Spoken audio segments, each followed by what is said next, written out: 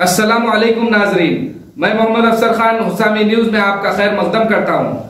آئیے دیکھتے ہیں یہ تفصیلات۔ السلام علیکم میں اسد الدین اویسی ان تمام رائے دہندگان کو اس ویڈیو کے ذریعے اپنا پیغام پہنچانا چاہتا ہوں۔ اور مجھے بڑے افسوس کے ساتھ یہ کہنا پڑ رہا ہے کہ آج صبح میں رانچی سے ہم ہیلی کاپٹر میں اڑے تھے۔ مگر بعد میں پائلٹ نے ہم سے کہا کہ ویزیبلٹی نہیں ہے اور ہم مہگامہ نہیں پہنچ پائیں گے اور اس کے بعد بھی سفر مشکل ہوگا۔ تو اس لیے پائلٹ نے کہا کہ ہم اور گئے نہیں جا سکتے، اس لیے واپس رانچی آنا پڑا۔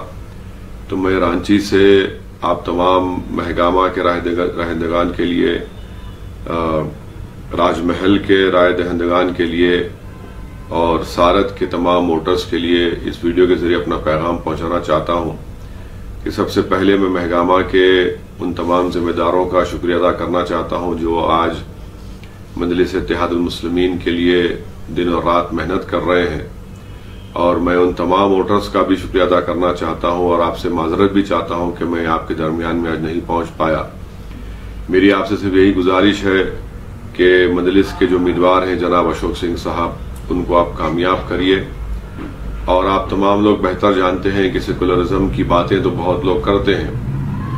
مگر اگر حقیقی معنوں میں جھارکھنڈ میں کسی مقام پر سیکولرزم کی کامیابی ہوگی، تو مہگامہ سے جناب اشوک سنگھ کی مجلس کی امیدوار کی کامیابی، وہ صحیح معنوں میں، حقیقی معنوں میں سیکولرزم کی کامیابی ہوگی۔ تو میری آپ تمام سے اپیل ہے کہ جناب اشوک سنگھ صاحب کو اپنا قیمتی ووٹ دے کر کامیاب کریے۔ وہ ایک بے باک شخص ہیں، ایک بہادر شخص ہیں، اور مجھے یقین ہے کہ وہ نہ صرف مہگامہ کے عوام کی امیدوں پر پوری طرح اتریں گے، بلکہ جھارکھنڈ کی ودھان سبھا میں جا کر وہ ہر ایک مظلوم عوام کی ایک بے باک آواز بنیں گے۔ چاہے مسلمان ہو، دلت ہو، آدیواسی ہو، یا ہمارے ہندو بھائی ہوں، یا پھر کوئی راجپوت طبقے سے تعلق رکھتا ہو، وہ تمام عوام کی ایک بے باک آواز بنیں گے۔ اور مہگامہ میں آپ کو اشوک سنگھ کی کامیابی یا آپ کی کامیابی ہوگی۔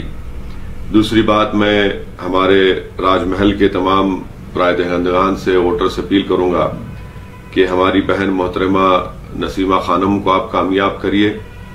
میں آپ سے اپیل کر رہا ہوں کہ ان کو کامیاب کر کے اپنے ووٹ کی اہمیت کو برقرار رکھیے، اپنے ووٹ کو ضائع ہونے سے بچائیے۔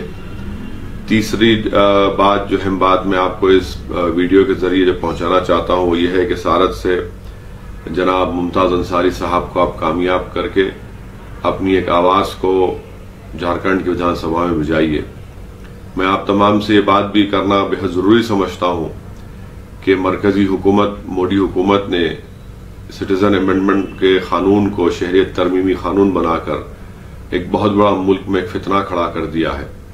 اور پہلی مرتبہ آزادی کے ستر سال کے بعد ہم ایک دیکھ رہے ہیں کہ ایک ایسی حکومت مذہب کی بنیاد پر شہریت دے رہی ہے۔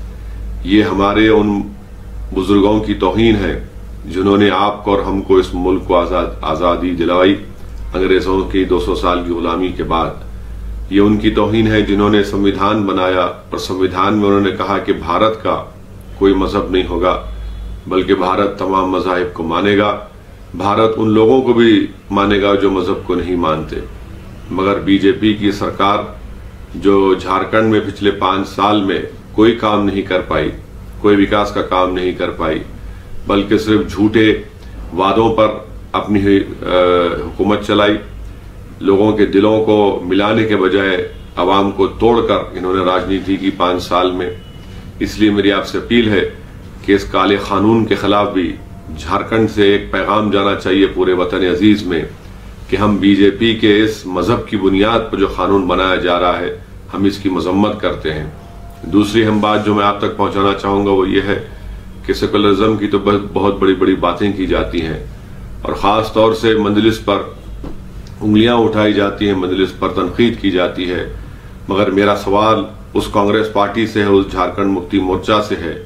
کہ کیا آپ لوگوں کو ذرا بھی حیا اور شرم نہیں آتی کہ آپ نے مہاراشٹرا میں شیو سینا کے ساتھ الائنس کیا اور آپ آج مجلس پر انگلیاں اٹھاتے ہیں؟ شیو سینا کب سے سیکولر ہو گئی؟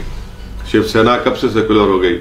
کیا سری کرشنا کمیشن کی رپورٹ میں جسٹس سری کرشنا نے نہیں لکھا کہ ممبئی کی سڑکوں پر نائنٹی ٹو دسمبر میں اور جنوری نائنٹی تھری میں بال ٹھاکرے نے ایک جنرل کا ادا کیا؟ یہ میرے الفاظ نہیں جیسے سری کرشنا کمیشن کے الفاظ ہیں۔ تو یہ کانگریس کا، جے ایم ایم کا، جو سیکولرزم کا ان کی باتیں ہیں، یہ تمام جھوٹ پر مبنی ہے۔ میری آپ سے اپیل ہے کہ اس کو مسترد کریں۔ تیسری بات، جب شہریت ترمیمی قانون پارلیمنٹ میں بن رہا تھا، لوک سبھا میں شیو سینا نے بی جے پی کی تائید کی۔ جھارکھنڈ مکتی مورچہ کا ایم پی کہاں پر غائب ہو گیا تھا؟ وہ کیوں نہیں آیا؟ اور آ کر اپنی بات کو کہا۔ تو اس سے آپ کو سمجھنے کی ضرورت ہے کہ یہ لوگ صرف مسلم اقلیت کے ووٹ کے حاصل حاصل کرنے کے لیے یا تو ہم کو ڈراتے ہیں یا پھر ہم کو کہتے ہیں کہ آپ مجبور ہیں، آپ کے پاس کوئی متبادل نہیں ہے۔ میں آپ سے یہ اپیل کرنا چاہوں گا کہ نہ تو ہم مجبور ہیں، نہ ہم کسی خوف کھاتے ہیں، نہ ہم B J P, R S S کے خوف میں آ کر اپنی محتاجی اور بے بسی کے عالم میں کسی اور کو ووٹ دیں گے۔ بلکہ الحمدللہ، آج جھارکھنڈ کی سرزمین پر مجلس اتحاد المسلمین کا قیام عمل میں لایا گیا ہے۔ اور میں آپ کو یہ بات بتانا ضروری سمجھتا ہوں کہ ہم یہاں پر صرف ایک انتخابات کی حد تک اپنی پارٹی کا قیام نہیں کیے ہیں۔ اللہ ہمارے جسموں میں جب تک ہماری جان کو برقرار رکھے گا، ہم جھارکھنڈ کی عوام کی خدمت کرتے رہیں گے۔ جھارکھنڈ کے غریب، مظلوم، آدیواسی، اقلیت، ان تمام کی مسائل کو ان کے حصول حق کے لیے ہماری لڑائی کو جاری رکھیں گے، جدوجہد کریں گے۔ اور انشاءاللہ تعالی آپ دیکھیں گے کہ اس الیکشن کے بعد بھی ہم آپ کے درمیان میں رہیں گے اور ہماری پارٹی کو اور مضبوط کرتے رہیں گے۔ میری پھر سے آپ سے اپیل ہے کہ جھارکھنڈ میں آپ کو ایک متبادل کے طور پر مجلس کو اپنائیے، اپنے ووٹ کو ضائع ہونے سے بچائیے۔